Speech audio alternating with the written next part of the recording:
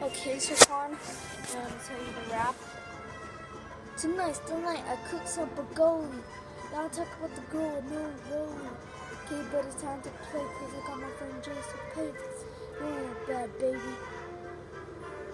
But now, but now we're going down like Kuti Kente.